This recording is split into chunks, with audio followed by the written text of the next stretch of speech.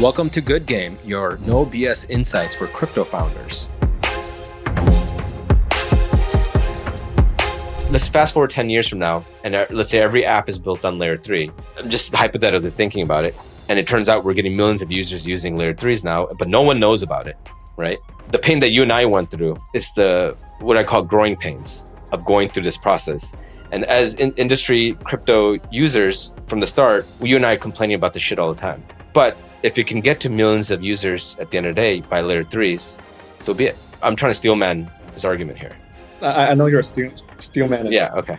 But deep inside, you're, you're dying. Look, the, the, amount of pain you went through yourself. Really. No, I, I 100% agree. But looking for your next startup idea in crypto? Check out our request for startups list and get inspired at alliance.xyz forward slash ideas. Welcome to Good Game. Uh, we took a one week hiatus um, Qiao uh, recently had a baby boy. Congrats. Thank you. How, how are you feeling? Thank you, sir. How do I feel? Yeah. I feel I'm I'm recovered. Last week I was stressed, um, changing diapers all night, but this week I got four grandparents helping out. That's amazing. Yeah, I know it's tough, but uh, also exciting at the same time. Healthy uh, baby. Healthy uh, baby. That's good to hear. Healthy baby. That's the most most important thing. Poops a lot eats a lot, sleeps a lot. It's good.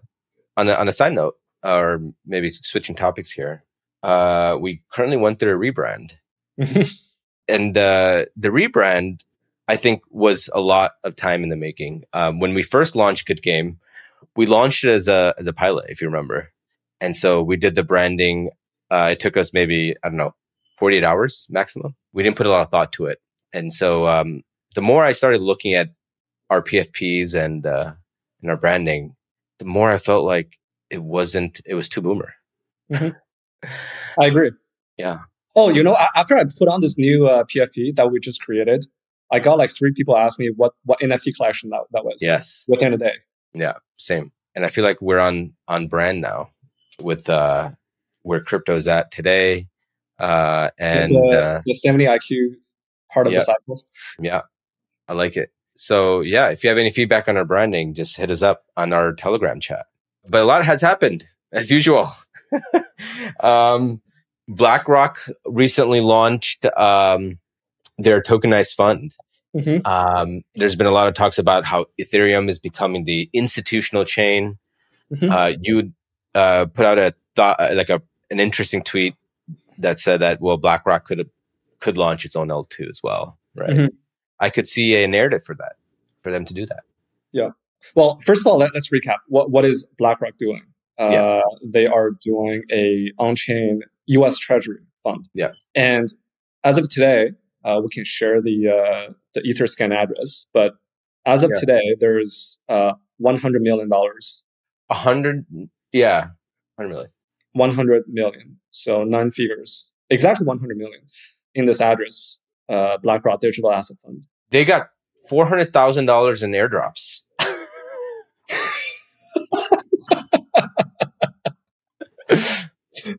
um, let's, Imran, do, do you want to show the Etherscan? yeah, I'll, I'll, I'll, share my screen. All right, so four hundred thousand dollars in airdrops. But uh, yeah, let's let's look through um, what BlackRock would see. They got uh, fifty thousand dollars in Leo X token. What the hell is this? I have no clue. Galileo Protocol. Credo. Okay. I've heard of Credo. Interesting. Forgot what it is. Okay. But there's um, a Shiba Inu Mog. These I know. Shiba Inu Mog. N- not Shiba. Shina. Shina. Okay. Okay. PayPay. A thousand dollars worth of PayPay. Not bad for some free advertisement. Jesus Coin. Don't know what that is. Frax. That's a real coin. That's the OG DeFi protocol. Harry Potter. Obama Sonic and he has uh, they got exactly 420 that's 69 so so how, how do you think uh, larry fink is looking at this and feeling? He's like i don't know. He's like what the fuck are these wrong with these crypto guys? Um pepe fork kramer coin pussy noodle oh my god, we're not serious people, Qiao. I've just realized that. I try to take myself serious at times, and I realize after uh, watching all the shitcoins pump over and over again, and the types of shit that pumps, I'm like, we're not serious people. That's right. Um, but yeah, that was fun to do. But but what do you think is the impact of, of, of this? Not not the not the shitcoin airdropping, but but BlackRock launching their tokenized fund on chain on Ethereum. I mean, because the, the day the day um, BlackRock announced this in conjunction with uh, Coinbase, I saw all the RWA tokens pump like fifty percent, hundred percent the next day, including Ondo. Ondo is now at like ten billion dollars FDV. Pretty crazy. Yeah, I mean, I think it's very clear that uh, Larry Fink had mentioned this many times, but the ability to access its product, give its access to products across the globe is one area of opportunity, right? Right now, between the KYC and other layers of friction, it's very hard for them to reach customers globally. It's primarily people that are based in the US mm-hmm. or investment managers, etc. Like one power that he'd always talked about is the ability to reach the masses. And so that was one area of opportunity he mentioned. He also mentions uh, speed. Um, well, you were saying Larry Fink's talk about this? Yeah. Well, uh, generally about crypto. Okay. Uh, he talked about reach, speed, and cost reductions. Those were like the three things yeah. that he talked about. Yeah. Um, and so I do think there's going to be a really pretty big impact whereby we're going to start to see more products on chain and we're going to start to see people outside of the US uh, invest in these types of products. And we do see this from a uh, institutional perspective, but the everyday retail person, I think is going to be important. I mean, I think you and I talked about this too previously, which is I have family in India, right? And you're like, oh, how do I invest in real estate in India? Yeah. No, there isn't an ability to do that right now, right? Unless you have, you know, many firms that you work with across the board that can do this. But being able to do this completely on chain, permissionlessly, I think is where the power is. Yeah. Actually, Ondo tweeted about this the other day. They said that uh, there's now $1 billion of US treasuries on chain already. So a small part of that is uh, Ondo itself. So Ondo has a uh, US treasury product. And then the remaining, the ballpark, the bulk of it is from other products. I've seen like Centrifuge, Block Tower, like those guys tokenizing um, US treasuries on chain. But I think that's only the first part, the first step. Because in the whole world of RWAs, we start with uh, US dollar, that's stablecoin, that's the first step. And the most natural next step is to tokenize US treasuries. Is the asset that's closest to US dollar. It's, US treasury is basically US dollar plus some interest rate. Yeah. Short-term interest rate. And now the question is, what is the next natural next step? What is the and, next asset to be tokenized? Uh, to me, it's US stocks and US real estate. These are some of the most high quality assets that everyone around the world, everyone outside of the US want access. So our, our colleague David, he was in China uh, two months ago, and basically he did some underground study of mm-hmm. what Chinese consumers wanted. Like everyone wanted U.S. stocks because Chinese stocks are have been down only flat for have been down only for 15 years, while the Chinese economy has been up only for 15 years. Yeah. So in China, the, the stock market doesn't reflect the economy, whereas in the U.S. it's the opposite the US economy has been doing well, but not like 10% per year, whereas the US stock market has been doing 10% a year. But isn't that a function of, well, the, the Chinese communities would prefer investing in real estate over stocks, whereas in the US, it's stocks over real estate. Is that true? I think there is part of that, yes. Okay, so right now, Ethereum, for the past, let's say, a few years, Ethereum was the go to chain to build products for crypto. Now, what's happening is layer twos are taking away that business. And Solana and layer one and layer ones, they're taking away that business. Now, Ethereum is just kind of a, a chain where maybe people launch like test products. I don't even think that's true anymore. But y- you hardly see anyone launching on Ethereum anymore. So it's kind of a quote unquote ghost town. Even if you look at the Ethereum NFTs, ghost town. Like no one's buying, no one's really selling. It's kind of dead. And now it's positioning itself as kind of a temporary blob space, as an example. Uh, and now we're starting to get institutions that are building or these types of tokenized funds on ETH layer one. What do you think is the future of Ethereum then? Is it just going to be used as a, a settlement layer, right? And security layer, and then primarily targeting institutions? I'm not sure. I'm, I'm trying to. You, you remember Vitalik uh, published a blog post like two weeks ago about where he showed a, an S curve of where Ethereum is on, Yes. the, on the scaling roadmap, Yes. and he said that where Ethereum is well past the middle of the S curve. Okay. Ethereum is is past the, the hyper scaling phase. It's now in the sort of the maturing phase in terms of scaling effort. And I was uh, somewhat disappointed to see that. Yeah. Because what, what is what is telling me is we're not really expecting to see much more meaningful scaling on the layer one, at least Yeah. not compared to the last few years. So, uh, you know, on the Ethereum layer one, the fees are continue to be very expensive. Like, Yeah. I haven't used the layer one in a very long time. I tried to use it. It's like 80 bucks to do a swap or Yeah. 80 bucks to, to, to send a, a transaction, not even a swap. Swap is even more expensive. Yeah. So yeah, it's just going to be a settlement layer for layer twos. Yeah. From this on. I'm disappointed too, uh, if you ask me. Um, I really wanted to see Ethereum compete. Uh, You know, make more EIPs that are maybe even competing with layer twos. Yep. That's the type of Ethereum that I wanted to see. You remember on our episode with um with Mert, Yeah. he, he said something that, that really struck me, which is that Ethereum is uh, making a, a premature optimization in the sense that Ethereum hasn't reached the, the hasn't explored fully the, the potential of the layer one and is now focusing on layer two scaling. Yeah. Layer twos are going to happen on, on Solana as well, but Solana is trying to reach the full potential for the layer one before going up the, the layers. Okay, so what is the role of a layer one then? Right? If layer two is bound to happen, which we talked about on Solana and, and every other layer one that's out there, because there's no other way to really scale, what does that make in a layer one? Is it just going to be a layer for security uh, and settlement? It, it's is that the pri- and that's fine, right? and it's only for settlement. It's not even for data availability. Yeah, well, that's gone too. Are using Yeah. Celestia and Uh, uh, Arbitrum. Uh, what's the any, uh, any trust? Anytrust? Yeah, Yeah. Arbitrum Anytrust for for data availability because the data availability on layer one is too expensive. Yeah. So data's gone. I mean, you have temporary data now, but it's only good for like you know useless transactions. Yeah. Um, I, I guess that's that's what it is, right? I mean, even if you look at Bitcoin, like people are building around the Bitcoin ecosystem. What is it used for? It's just used for for settlement, Yeah. trust. Did we talk about uh, uh, proto-danksharding on our last pod? The la- our last last was two weeks ago. Did we actually talk about it? We didn't go deep into it, but we talked. We've talked about this a few times in many of our episodes. Be- before it happened, right?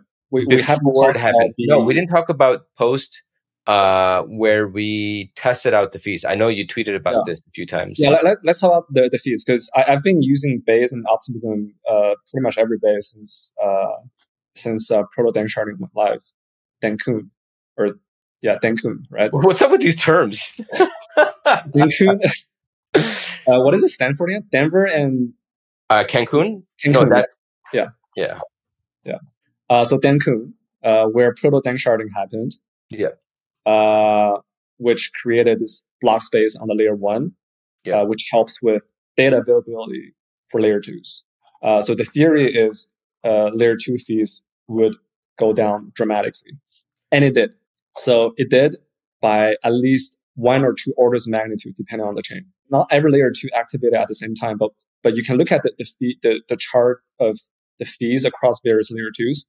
You can see very clearly when the layer two activated proto-danksharding, and depending on the chain, went down one or two orders of magnitude. Very impressive. Um, so I, I've been using op- uh, Base and Optimism every day for the last couple of weeks, and what I experienced was in line with the data. However, there's uh, one thing that I noticed that wasn't that, that wasn't reflected in the data, which is that the variance in the fees were very high was very high on Base, for example. So on some days, I make a swap, it's three cents, two cents, which is in line with Solana, for example. On other days, it can go to eight dollars when Well- the chain is really congested. That makes Solana, sense. I never see that. Solana is always one or two cents. Well, it makes sense. Why? Because you know Ethereum's a shared blob space, right? Where people, all the layer two share that. Yeah. So depending on what layer two uses it the most, they have to kind of like compete for that space and time, right? And cost. Uh, what you what you said is correct in theory, but empirically, that's not what's happening. What's right happening? now, the block space is not the bottleneck empirically. The bottleneck right now is the execution of the layer twos. Okay, so and, and that is the difference between single threaded and parallel execution. Yeah. Okay. So, so yeah, layer twos like Base and Optimism, they're not using parallel uh, execution. Yeah. So and and that is, that's where the bottleneck is today. So yeah, and Base transactions, Base TPS went up by an order of magnitude since Dencun, but that creates a, a lot of uh, load on, on, the execution environment. So for those that are trying to understand single threaded uh, and parallel threaded or dual threaded, um, essentially what it means is you know you're waiting for one sequence of transactions to complete, and you're and your transactions waiting in line to be executed. Whereas with parallel execution, you have two lanes where you can execute transactions. So if, yeah, so that's pretty much at high level. And we go I want to put something into a context, which is very important, which is yeah. I see a lot of misinformation on Twitter from the debate debates between the ETH maxis and the Sol maxis, which is that, uh, yes, on average, the base fees and optimism fees and arbitrum fees are on par with the Solana fees. That is true. But there's several big caveats. One is, as I said, the variance is very high on Base and Optimism. And this is from just me using the products. That's number one. Number two, and this is going to suck for all the ETH maxis listening to this, which is that the, the, the total number of TPS combined across all the layer twos today is one order of magnitude lower than Solana. Like, think about it. Yeah. Solana processes one or two, one to 2,000 transactions per second. The best, the most, the busiest uh, Ethereum layer two processes 10 to 20 per second. And there's maybe like 10 of them that really matter. So together they process maybe 100 TPS. All the Ethereum layer twos together, 100 TPS. That's one order of magnitude lower than Solana. And that's number two. Yeah. Number three, yes, Ethereum layer one is more decentralized than Solana, but the Ethereum layer twos are nowhere near the level of decentralization as, as Solana. They use sing, single sequencer, single sequencer, number one, and two, the proofs are not permissionless. Uh, only, I think yes. today only Arbitrum is stage two, layer two. If you look at uh, L2, L2 beats, stage one, sorry, stage one, not, not stage, stage one. Yeah. Only Arbitrum one is stage one, layer two decentralization. Um, everyone else is at stage zero. Exactly. Yeah. So, and remember, the more decentralization you add, the the more latency you add. So, like, if you were to decentralize a sequencer set, what do you think is going to happen? Yeah, you know, I'm, I'm, sure there could be ways to work around it, but typically, when you decentralize, because right now you have a single sequencer, right? And if you have if you decentralize a sequencer set, then you have you know a few sequencers you have to coordinate and figure out what transactions you want to publish on the blockchain. The conclusion I have really is that purely from a tech point of view, Ethereum is really behind Solana it is actually 10x behind. And this is something that I think a lot of ETH, ETH maxis don't want to admit. Look, ETH is still ahead of Solana in terms of developer mindshare, in terms yep. of TVL, in terms of liquidity, in terms of probably you. Actually, Ethereum is behind in user count already. It's ahead in all these things that I just mentioned, but pure tech wise, Ethereum is behind. And trading volume, you know, on DeFi, Solana is already on par with Ethereum. Okay, so there's obviously first movers advantage, right, with Ethereum. Uh, Ethereum kind of architected the smart contract space, uh, and so they have mind share, they have developer share, you know, incredible ecosystem. And a way like before they before they went from sharding to like layer twos, you know, there was a big debate whether sharding or layer twos would be the right approach. They decided layer twos. They allow mm-hmm. others to commercialize the the next layer up that would enable more apps to be built and it turns out even that has a threshold, right, of price, right? I mean, even with layer twos, it seems to me that it is not as competitive with uh, Solana in terms of fees, right? It's there, but it's not all the way there. Right. Uh, and now what we're seeing is layer threes. Um, uh, yeah, I know. It's, Remember it's on our last pod, on our last pod, I was like, I'm Fuck not going to talk about layer. Yeah. I'm not going to talk about layer threes. But well, with Degen we'll hitting two billion dollars, I think we might have to talk about it. That's right. um, um, so Degen just went up. Degen the token just went up uh, 100x. Yeah. To uh, two billion dollars in market cap. Yeah.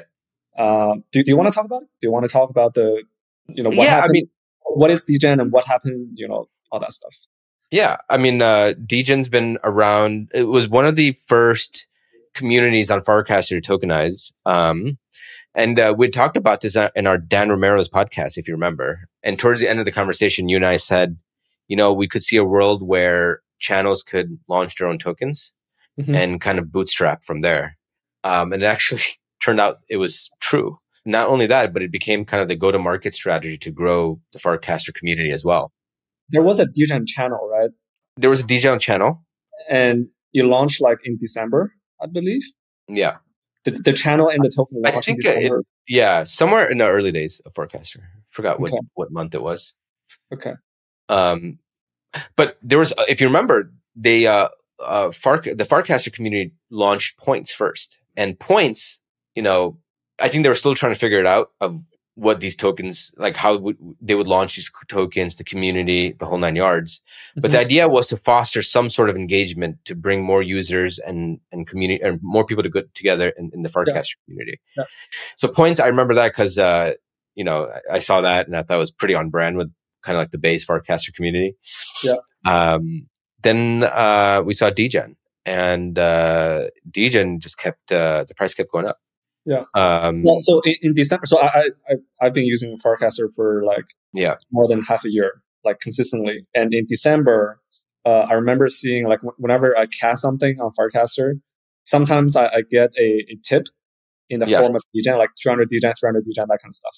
I didn't know what it was. I s- sort of knew that it was some kind of tipping, but when I tried to claim it, uh, the, the Degen token didn't exist. It, it wasn't a real token. It was like uh, some points in a centralized database. Uh, but later, that thing did become a real token that that was on chain, and that is the Degen token today. That just went to uh, like two billion dollars. I, I haven't still haven't claimed my my tokens yet, but it's probably worth a lot now. Yeah, having That claimed I, I can just nonstop casting and, and receiving some some tips. So that was the first utility of the Degen token. Like the, so, D, Degen token is it started off as a meme coin, I suppose, but people started using the token to tip each other. Yep. That was the the first utility for this token. Very similar to Bonk, by the way. Bonk started as meme ecosystem. and then yeah. they build like Bonk bot and that kind of stuff. Um, so that, that's sort of the, the high level of the Degen token. But Yep. this week, they also launched the layer three. Yeah. Um, so there's a company um, called Syndicate. They provide like infrastructure tooling for developers. Mhm. And uh, they got together with uh, Arbitrum Base and Decent, which is the Decent and Conduit. And they ended up building this kind of like out of the box layer three What's solution. decent? Decent, uh, they're a bridge. Okay. They just provide bridges. And between kind of that stack, they were able to build a integrated mini rollup or a layer three, whereby that rollup uses base as a settlement layer. Mm-hmm. And uh, you know, And transaction Arbitrum AnyTrust. and, for and DA. Arbitrum AnyTrust as a DA layer, and Decent as a bridging layer. And the native token for this layer three is D, uh, is um, Degen also. Yeah. So that was one of the by that mean you pay gas using the Degen token. Degen token. That's right. And then you also have Drakula, which is a, a social app that uses Degen as a uh, payment layer Mm, for okay. that. For the So there's even more. There's two more sources of utility for the token now. yeah One is as gas token for the layer three, and then Drakula using it as payment. There's probably more. there's probably more. There's probably more. Yeah. But this is kind of interesting, right? You know, using a token as a way to bootstrap. Uh, if you look at Farcaster, the way it started was just purely people coming together under one topic. Degen, there's other channels that are out there like MFR, right? Which we can talk about. They launched a token too, um, and others, and we'll, we'll talk through all of that. But just people getting together, and they believe in a certain topic, and they started to, you know, airdrop these tokens, use these tokens to tip each other, and that kind of got mindshare. And from that mindshare, they used it as a way to uh, help bootstrap an app called Drakula. And then they used it as a way to launch its own layer three. And now there's apps that are quote unquote being built on Degen uh, layer three. And uh, we'll see where it goes from there. But it's an interesting bootstrapping mechanism. Did you use the product, the the Degen layer three swapping and sending? No. Okay. I put a tweet out because I saw a lot. I'm in a bunch of Telegram chats, and a lot of people got rugged. it was same as Bald. I mean, Base, if you remember, It's same we- with every new. There's every every layer two, layer three, that the first thing that happens is that you get rugged, right? Yeah. It's like the right the pathway. You have to get indoctrinated, right? Um, and so I'm like, fuck this. I I've been through this way too many times. I'm just gonna wait. Um, and um, but yeah, people ended up getting uh, uh, uh, almost every token rugged, and there's a couple that are pretty decent. Uh, I think one that Ansem talked about was um, Herald, but besides the point, I haven't I haven't bridged there yet. Okay. Have so you? yeah, I did. Look, when I first heard the term layer three, I was extremely annoyed. I just I'm, I'm just annoyed by the constant creation of new jargons. But I said to myself, okay, I'm going to keep an open mind. I'm Yeah. going to try this and, and and feel feel the magic or the pain as a user. So I used the product. I bridged some tokens to uh, Degen layer three on their official website. Did some swaps on Degen swap and Mhm. then sent, send some tokens. It, What's the cost? the cost was basically zero. And by, by zero, I don't mean one cent. I mean like one hundredth of a cent. So, So- basically the fees went from, so base, base layer two, the fees on base layer two is like one, two, three cents on a good Yeah. day, right? Mhm. And with a layer three, basically you remove 99% of that. You reduce the, the, the Yeah. layer, layer two fee by 99%, if not more.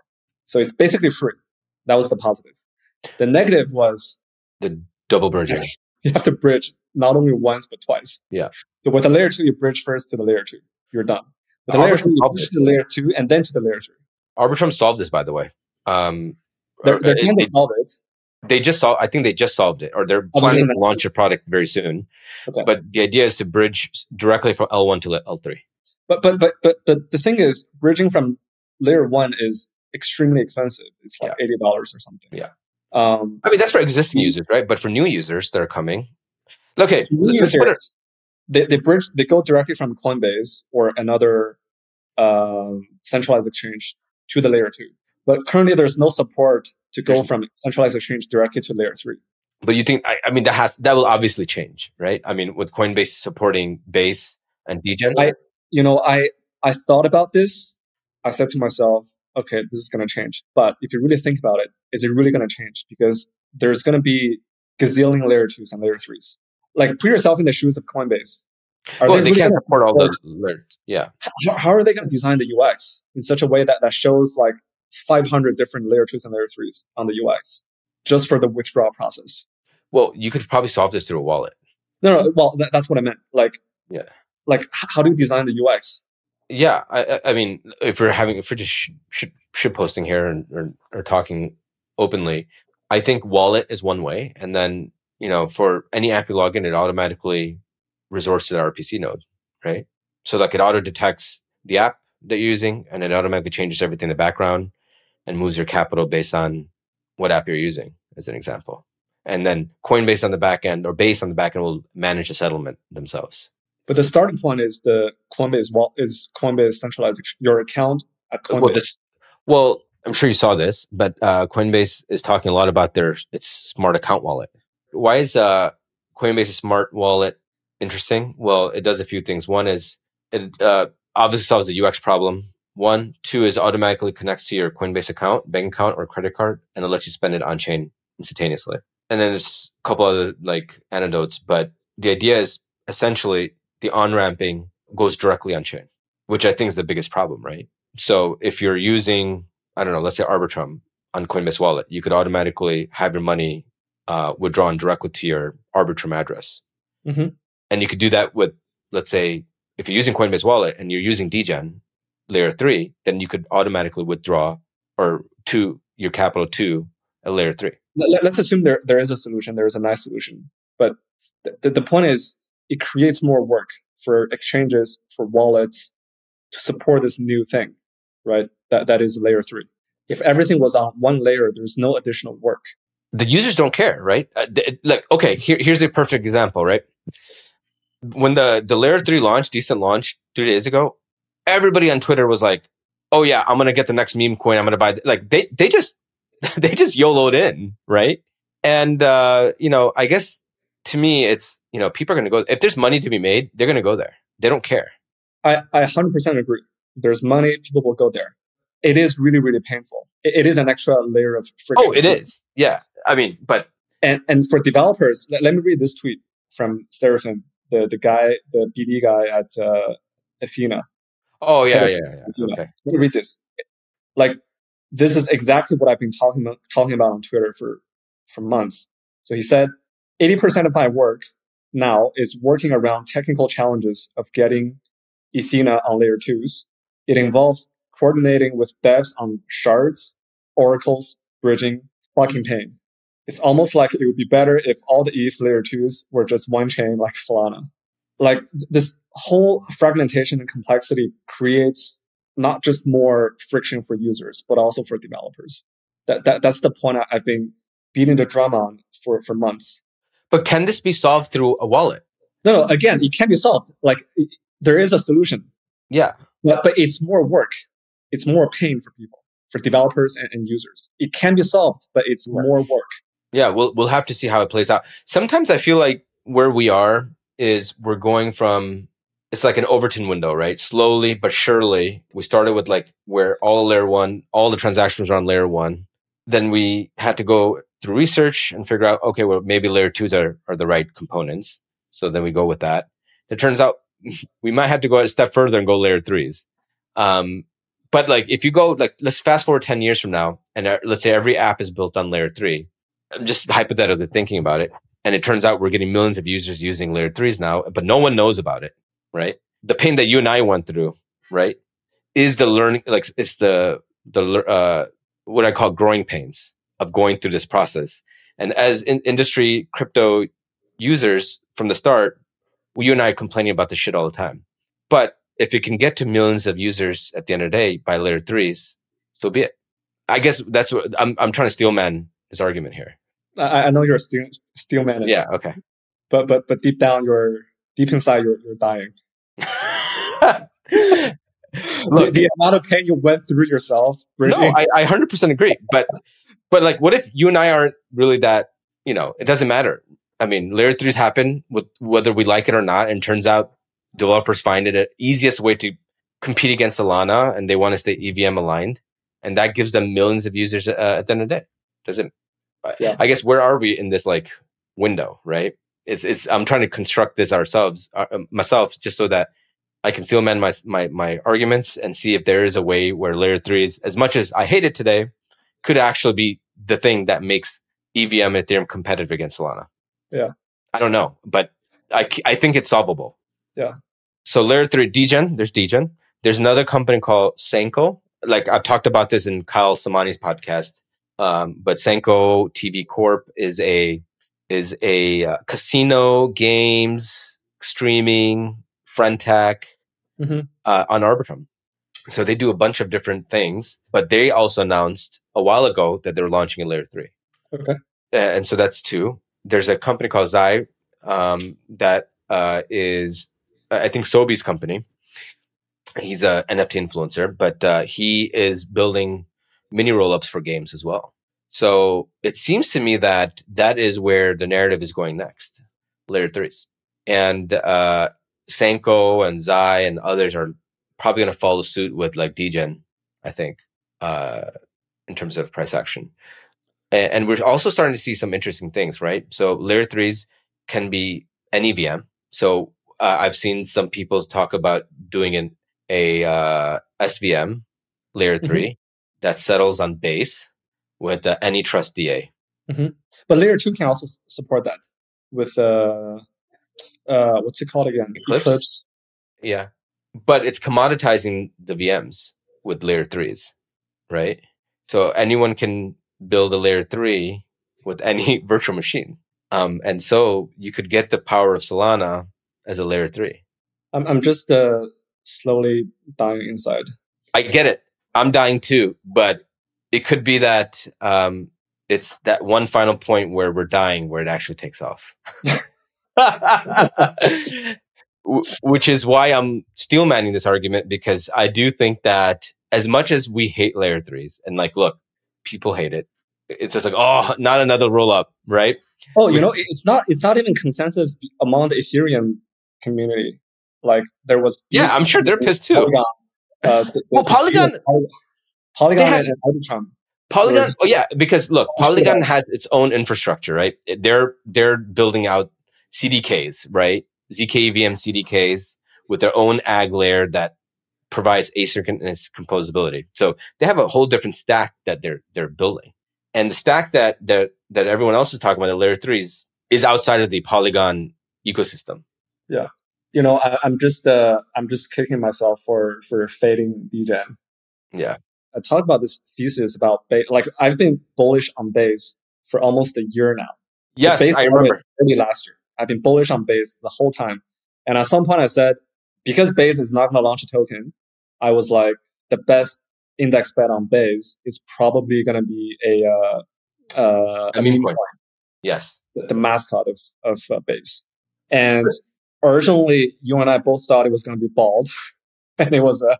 I wish it was bald. It's such a good meme.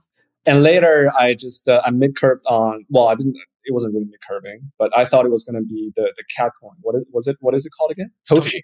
Uh, that one did really well. It did okay. It did okay. It's only 200 million market cap. That one did okay, but it's very clear in hindsight that the Schelling point for Base is degen. Yeah. And I faded it.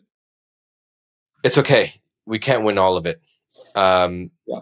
But, uh, but there are others. So, um, you know, personally, I think, uh, if you want to catch a layer three train, then I think there are other layer threes are launching that could give you similar exposure, probably not as explosive as Degen, because Degen already has a very like strong community. Yeah. But there are some ways to capture that opportunity, I think. Um, but we're seeing a lot of meme coins launch on base now, right? Um, I put a tweet out that talked about the quality of meme coins. The more of a cesspool it is, the more retail adoption there is. Um, I'm starting to see that on base now. Uh, not as extensive as Solana, but I'm starting to see, um, you know, more meme coins uh, going going for the billion dollar mark. Um, there's a token called Brett on on base that did 700 million in market cap. MFR, we talked about that. Oh, we didn't talk mm-hmm. about that, but uh, and we should talk about this. But there's a, a token called MFR that probably did like two 200 million FDV. 160. 160. Okay. You know, in general, I'm I'm surprised that uh, there was one or two days in, in the, in the past week where half of the front page of Dex Screener was base coins. Yeah. It used to be dominated, entirely dominated by Solana, but now it's 50% base, 50% Solana. So then the question is, could Solana and base be the retail chain? Could there be two retail chains, base, Solana? Base, obviously with Coinbase, 75 million registered users, retail, that's one. Solana mm-hmm. for the rest of the world. I yeah. could see that. I could see that argument. The advantage that Base has is the distribution from Coinbase. The users users just get uh, funneled to Base directly from Coinbase because they pay zero fee for bridging to Base. Yeah, they do pay a, a uh, on-chain gas fee for bridging for bridging to other chains. So that, that's distribution. That's the advantage for Base. The the disadvantage is the fees. Actually, it's still is always going to be the fees. So the base fees are on average on par with Solana, but with a huge variance, huge, yeah. huge variance. Yeah. That's not user friendly. I'm sure they have some upcoming uh, improvement for that, but at the moment, Solana is ahead. Yeah. I also, you know, having used both Base and Solana, just swapping and the slippage is it's painful, man. It's just insanely painful. Painful where on base? On base. No, but but th- that can be solved that that's with well, it can be if through liquidity, right? Yeah. But w- what I liked, what I like about Solana is Jupiter, right, with the DCA uh, function. I'm so surprised there's no Ethereum DEX that supports DCA or major DEXs at least. CowSwap does, but you know you have to like deposit assets into a gasless environment and then enables its own. Because the problem is that you have to go in a ERC or like a 4337 environment, kind of mm-hmm. environment to do this. Yeah. Um, otherwise, it's painful. So yeah, I agree with you. Like if there was a way where I can just lock some funds into smart contract, the smart contract can execute the transactions on my behalf would be amazing. But yeah, did you see the? uh Or do you have something you bring it up? No, I'm I'm just looking at the the other uh, big news. There was uh there was a Munchables hack Oh Munchables yeah, Munchables against um, uh, North Korea. Yep. But I, I, but I think they debunked that. I don't know if it's really North Korea. Um, I don't know exactly what happened, but I saw some tweets uh, of somehow they uncovered the anon that that did the the hack, Uh-huh. and I think they pretty much made an offer that he couldn't, he or she couldn't refuse, meaning like reporting you to the authorities if you don't give us the money. Okay. So that's how they got the money back from. and it I- wasn't North Korean. was in North Korea. So um, that was uh, one two days of where all the everyone came out started shitting on Blast, of course, and then now Pac Man is a hero. Don't you love these story arcs? There's a Farcaster one billion dollar valuation. Yeah, pretty. Uh, yeah. I mean, like you're comping against. Uh, well, the comp is probably Twitter, right? Elon sale for 44 billion. So uh, Is that by the way? Isn't that bearish for Degen? Because Degen is sort of the index bet on Farcaster base. Like, do, do you see Degen as the as an index bet on Farcaster or the index bet on base, or a little bit of both? both, Okay. both, So if, Um, if and- Farcaster and- launches a to- go ahead. and social, And right? so, So Farcaster social, right? Um, w- wouldn't wouldn't Farcaster launching a token? Well, uh, first of all, I don't know if Farcaster is going to launch a token, but if they do, that would take a little bit of premium away from Degen, right? Well, yeah, it will. It's definitely going to take a premium away. But you know, maybe the idea here is that the layer three would have its own like ecosystem, and like I also question, you know, how many times can you replicate an ecosystem on a different chain, right? You have on base, you have Uniswap, you have the liquidity, you have the bridging, etc. You have all of these like core components that makes like you can stay on base and not have to worry. But if you go through a, another layer three, right, the liquidity aspect of it is kind of annoying. So I'm curious to see how that builds on its own and how much liquidity it can grab from retails, retail. What do you think of uh, Emad Mostaque's fall at uh, Stability AI and his pivot to decentralized AI? Any hot take on that? All right. Um, all right. So, you know, I've talked to uh, Ahmad back in 2019. Um, smart guy. You know, I don't know him personally. Like, I don't know him as a friend or anything like that. I just talked to him a few times and we riffed on a few ideas in crypto. Then I saw him on the news with Stability AI and doing really well. And uh, I've noticed a lot of news that spoke negatively about him as well. Yeah. Uh, there were people that worked at Stability AI that talked about how Emad mismanaged money, employees, the this future of of where Stability was going. Uh, recently, he announced that he was stepping down from Stability AI, and uh, he was going to focus his efforts on decentralized AI. Mhm. The entire community of uh, entire crypto community was they were ecstatic, welcoming someone that is going to pump their bags, so to speak. He uh, he wrote a, a proposal for render protocol. I didn't go into the details. Uh, I thought it was a, well. I, I read it, but I didn't understand anything. It was a lot of fluff, in my opinion. But uh, yes, the, the render backholders must be very happy. look, I mean, like I'm bullish over time with decentralized AI. I just think we're pretty early, but I do worry about one thing, which is uh, I don't know the details of whether or not it's what Emad did is true or not. But it seems to me that the reporting that came out from like Fortune and other um, reputable firms backed it with very specific data points to the point where they counted how many people they interviewed to get the data points, and it was thirty within To the get firm what data point? of the data points about how the capital was mismanaged, how Stability AI is burning money. Uh-huh. Um, Also, and- they interviewed the journalist interviewed thirty employees. yes, That's stability. yes, yes. Okay. And it turns out from that article that it was he was being negligent. Period. Yeah. To the point where the investors investors like Lightspeed asked him to resign, and he wouldn't Yeah. resign.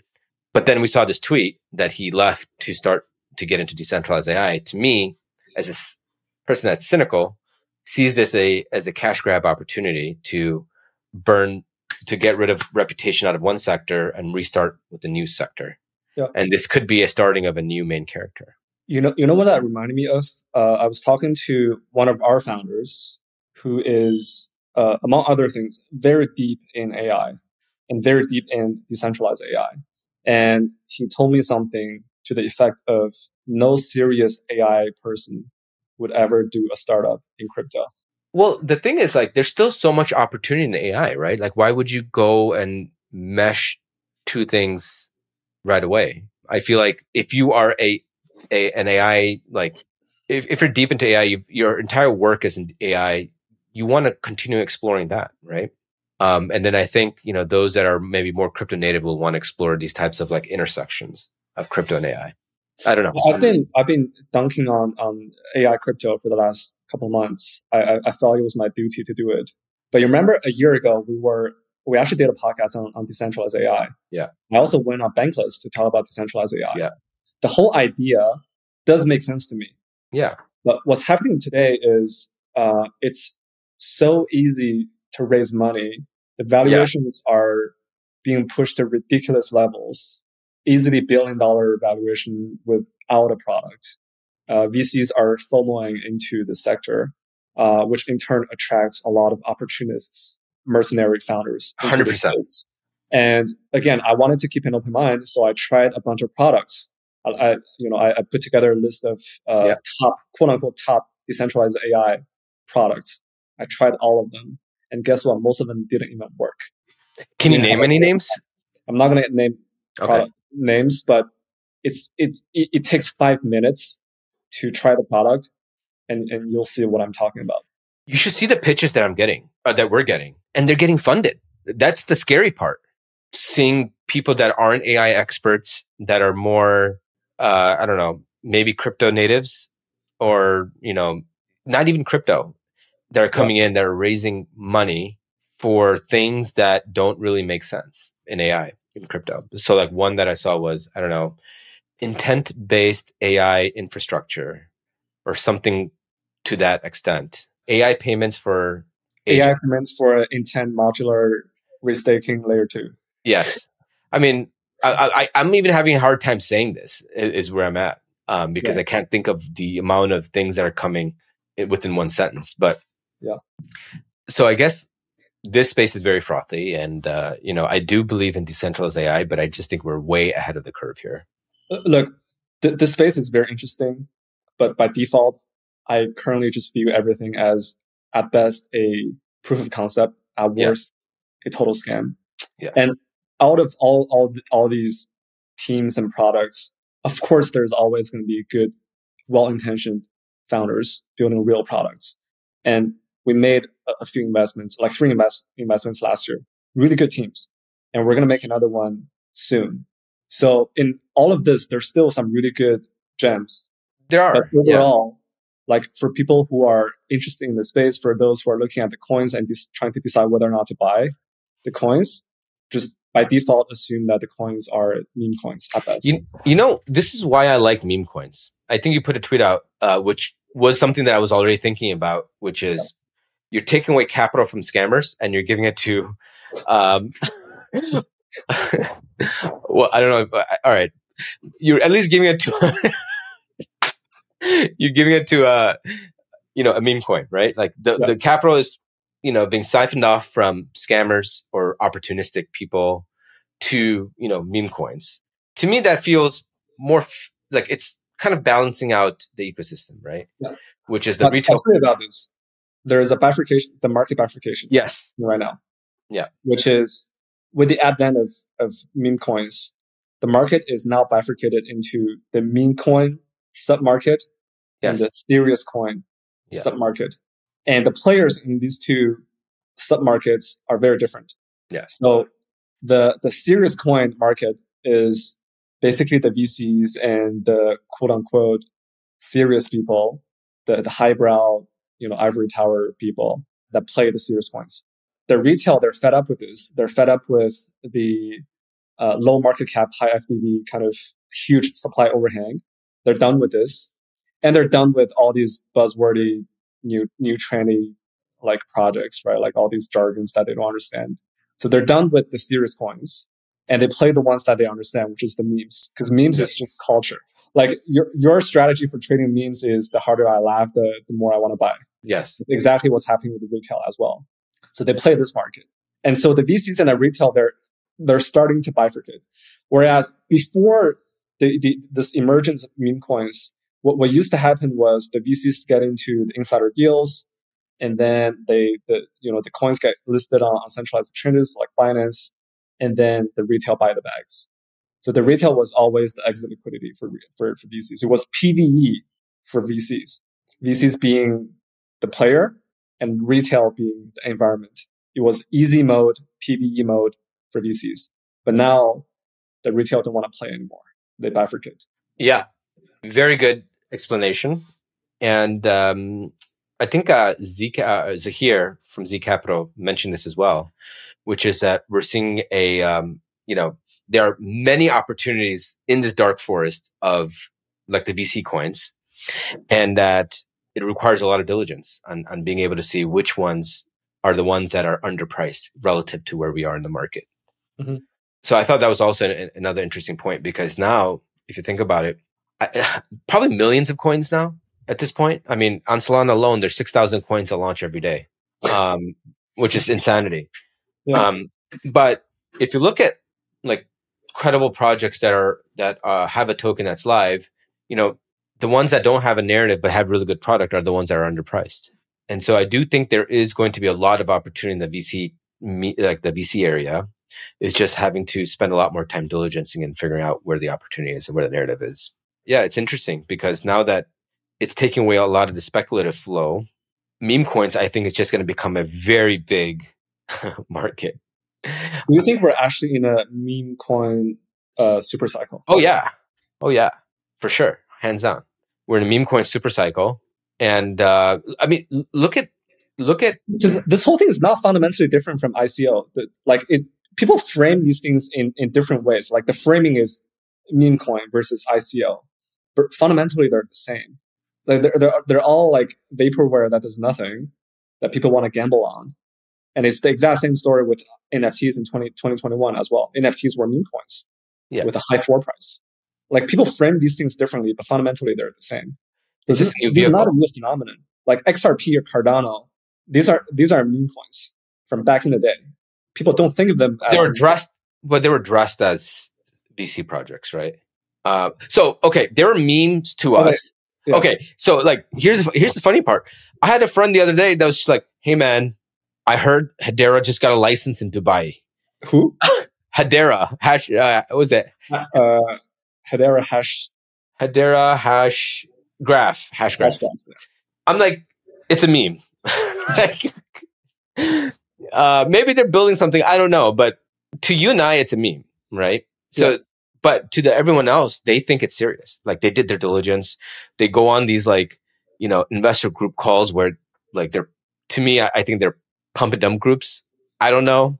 Yeah. Uh, and then they talk about how the future of this happened in um, in China with uh, Cardano. Do you remember that video that went viral? Yeah, yeah.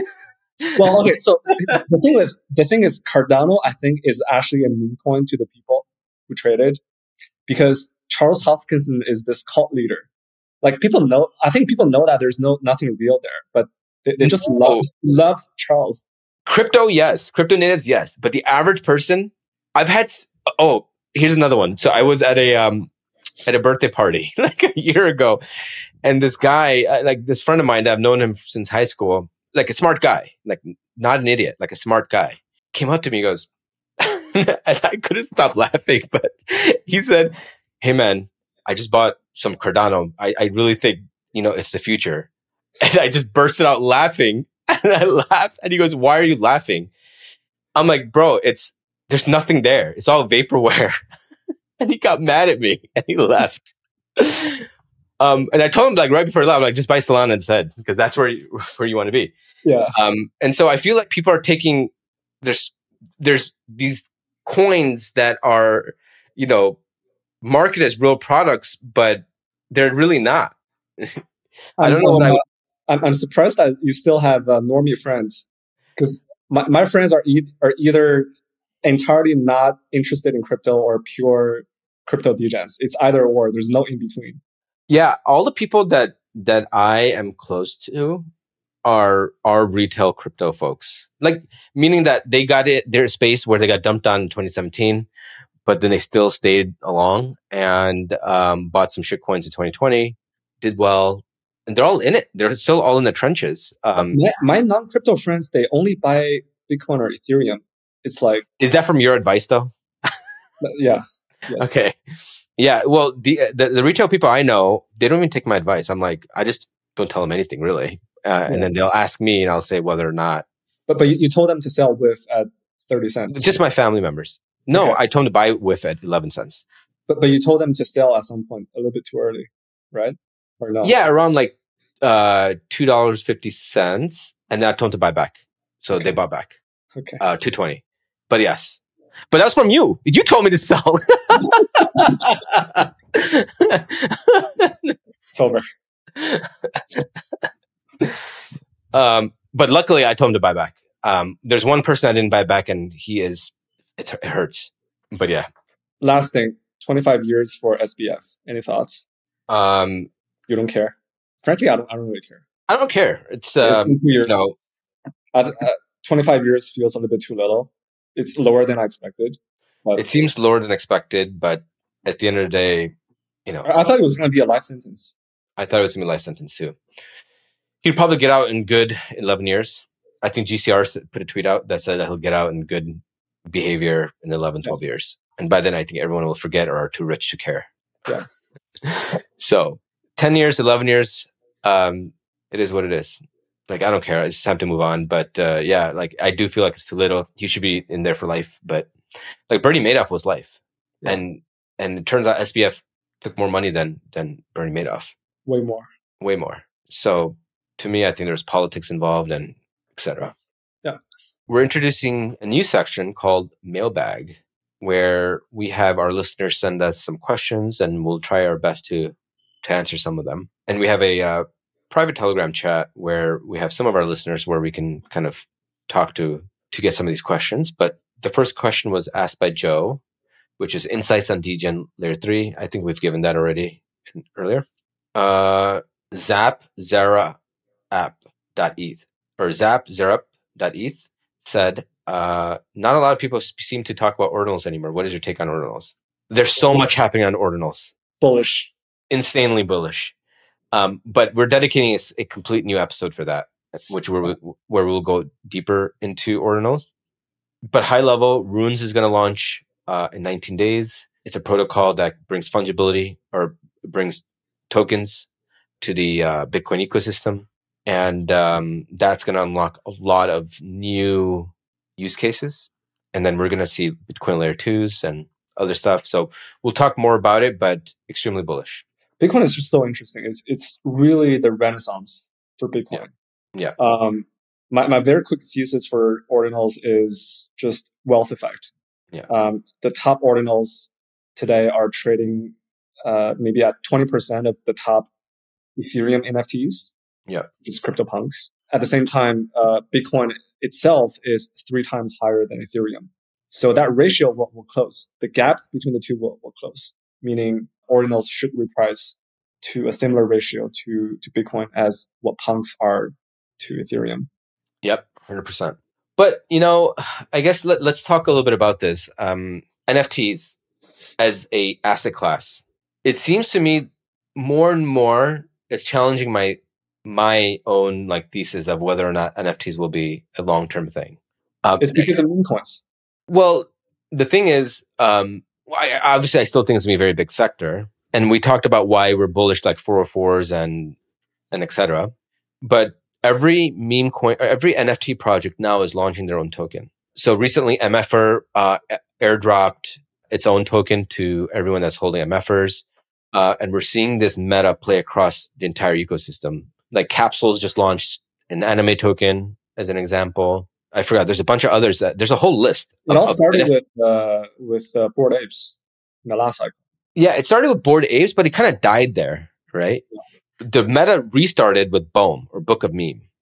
Because because people now understand the market dynamics. They know that the floor price is too high for retail yeah. to, to buy in, so they needed to launch fungible tokens. Which is why we were so bullish 404s, right? To begin yeah. with, because it kind of merges the two together. Yeah. And so this is a new dynamic that's playing out. So we saw we start the, we saw this by the the pre-sale phase, right? Where these projects would uh, raise an insane amount of money and then launch your token. And most of the time, price action outside of Book of Meme and maybe Slerf, everything else kind of died. And then from there, it went to okay, forget the pre-sale meta because it's only down only. Uh, let's just airdrop everyone a token and you just buy as much as possible early on. And I think that's kind of what happened to MFR and, and others are launching. It's a way to bring liquidity to market, excitement to the market. Like it's much easier to build a community when you have a token than than an NFT because you can extend that brand across, you know, across the globe easily because anyone can buy into it. Uh, we actually uh, just accidentally answered the question for Q, a flaky pastry. Uh, he, he had this exact question about meme coins versus uh, NFTs. Yeah. So, what would be the future of, of NFTs? What is the future of NFTs? I think um, all existing NFTs will launch their own token, similar to like MFR. I think that's what's going to happen. They're going to launch their layer twos. Exactly. Some of them that are very strong brands will have to launch their own layer two. Pudgies. Like if you exa- if you think about let's say um, Azuki's, right? They're launching something called Anime Chain before they got front run by Capsule. Um, they ended up taking a ticker on on base, and they launched it yesterday. But Azuki's launching it, right? So could there be products built on this chain that would help propagate a, a Azuki's brand across the globe, right? So like I don't know, I'm throwing out hypotheticals. Azuki Ducks, uh, Azuki, uh, I don't know, social games. I could see this whole like Disney like environment be, be built on a, its own layer two or layer three or whatever you want to call it. Or layer one. Earlier one. Well, actually, let me take this back. This already is happening. Axie. Axie, right? Incredible brand. Ronin, its own chain. And now there's apps being built on top of Ronin that's bringing incredible amount of users and growth using the, some of which are using the Axie's brand. R- Ronin is, is uh, technically it's a sidechain. It's a sidechain. So it's They're trying to get to the point where they're an actual layer two, but yeah, right now they're a sidechain. Yeah, but they should do it just the layer one. I mean- layer two just debase. You know, this is the other thing I don't understand about layer threes. Like you debase yourself by going as a layer three. Like the higher layer you go, the mark, the less market the market appreciate you, the less the market values you. Yeah, that is also true. Um, but really, if you yeah, ask it me, doesn't make sense to me to be honest. but listen, Qiao, let me ask you this. I mean, okay, when you're building Web two, you spin up a what an AWS server, AWS server, right? And I I mean, it's commoditized, right? I think we're going through the commodity phase of of layer twos and layer threes to the Mhm. point where the more you bring on, the less value we hold to these layer twos and layer threes. And really, it's the products that are being built on top that brings in the value for the layer twos and layer 3s Mhm. The market skewed towards towards infrastructure that we forget that really that what brings the value is the apps that are being built on top. Mhm.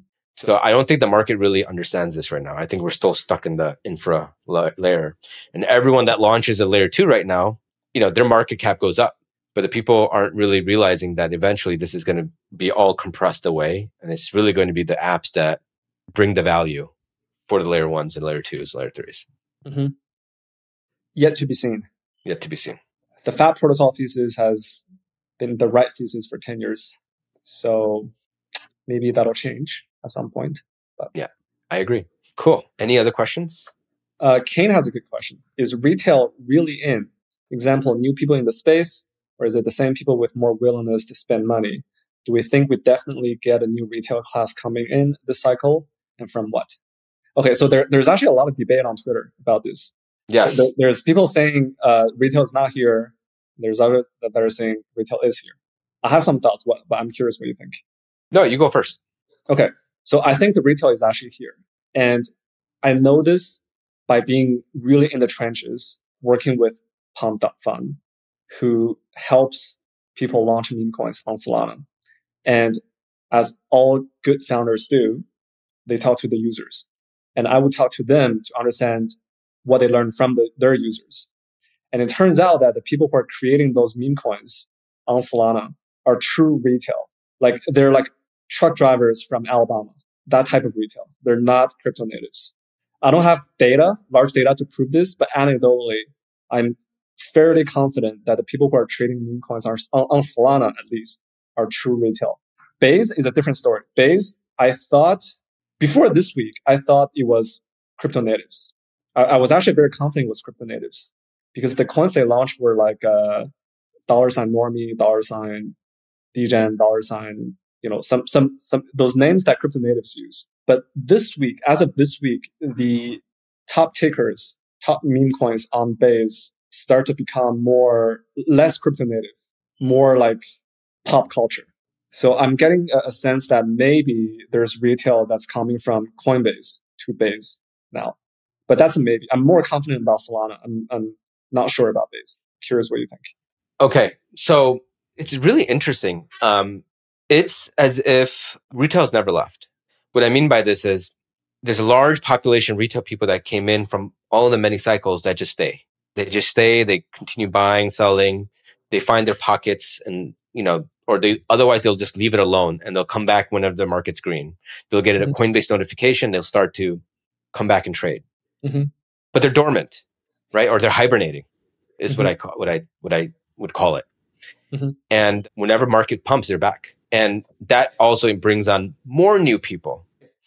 So for now, like I think retail has never left one. And that's why it may seem like what are the retail people in or not? It doesn't seem like it, but retail's here and they've always been here. Two, they're more sophisticated than we think they are, meaning that many of them, and I, I know this because I, I, I talk to retail people all the time and I ask them a lot of questions. And it turns out they're familiar using Uniswap. They're familiar using Jupiter, Jupiter and they're on crypto Twitter now. They actually also follow Ansem. of course. And and they follow another guy named Web3 Quant. Uh-huh. And I know this because I've asked many people and they get they've given me these responses. Yeah. I, I talked to Web3 Quant by the way.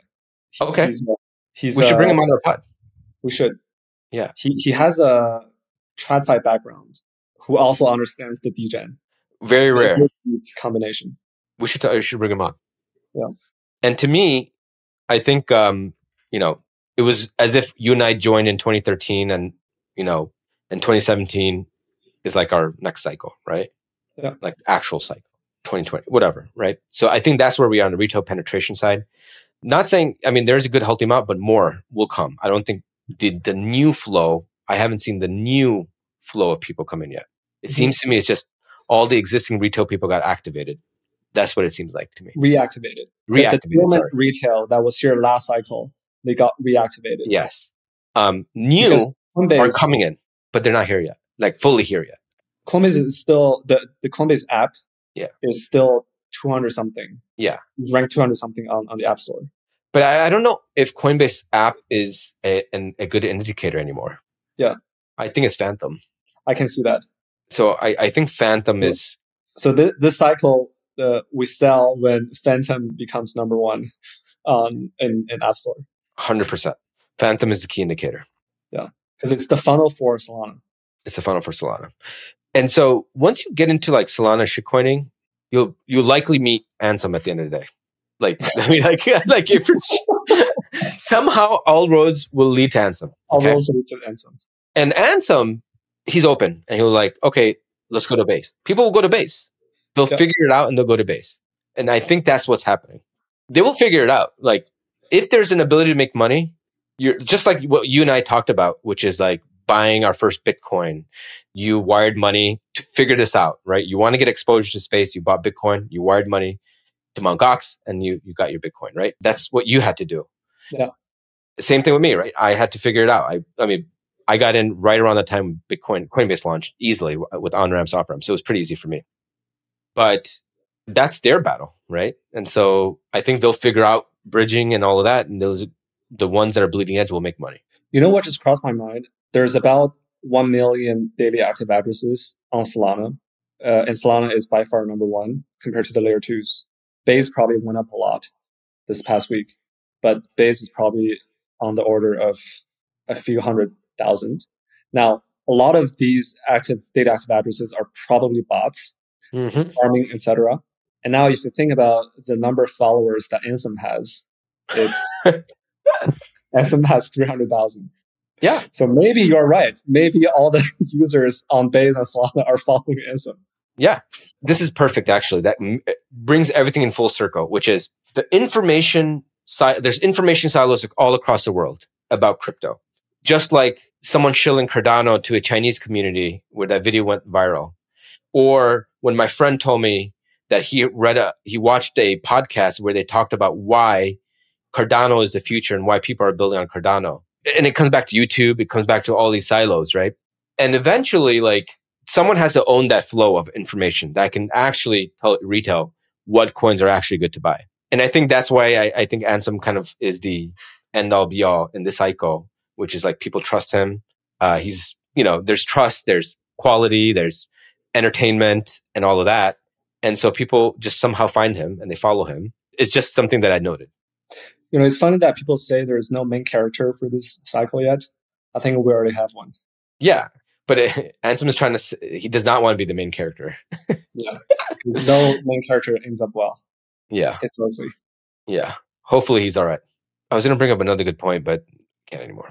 But uh, yeah, so um, I do think uh, there's an element of uh, dispersion of information that's being consolidated, and I think you know that's where the retail flow is going. Retail flow then will find opportunities in Solana, Base, and they could, those two chains could become the the retail chains. I was thinking about one thing this morning since you, you said the word dispersion. I was thinking this morning, uh, there's actually a lot of dispersion in the market, in crypto market, meaning uh, historically, in the last cycle, for example, everything went up or down at the same time. All the coins would go up together, all the coins would go down together. Yeah. But, but this cycle, if you, if you follow Twitter, like a lot of people complain about the lack of, uh, like, why isn't there an alt season yet? Well, the fact of the matter is, if you don't, if you haven't experienced an alt season, you are just simply in the wrong coins. And so this, th- what, what's happening in this cycle is the different coins they move independently of each other. Some do really well, others have been flat. Yeah. And I was thinking to myself why this is the case. And I have an interesting theory. I'm sure there are other people have thought about this as well, but my theory is actually really because there's too many coins. Yeah. In this cycle is and, and those there's orders magnitude more coins this cycle than the last, and the, the, attention is being fragmented. There's only so many players, but the number of coins they can buy is way larger compared to the historical average. So they simply cannot buy everything together. They have to focus on the subset. Yeah, I agree with that. I, I agree with that. I feel as if we um, we're becoming bigger and bigger crypto ecosystem, and um, there will be a point where you and I can't even talk about all the things that are happening in crypto. I mean, that's kind of getting to that point, right? Um, but yeah, eventually it'll be big enough where there's things that are happening in different parts of the world where we'll have no clue. And maybe crypto Twitter doesn't become a thing anymore, right? Like it's just global news. I don't know. It does certainly feel that way. Great. Um, I think we covered a lot. Well, um, thanks for listening in. Um, if you have any questions, thoughts, join our Telegram chat. Otherwise, we'll catch you soon. Thank you. As always, the views expressed in the Good Game podcast are personal to the speakers and do not necessarily reflect the views of any other person or entity. Nothing here should be construed or relied upon as investment, legal, tax, or other advice. Thanks for listening to Good Game. Don't forget to subscribe. We'll see you next week.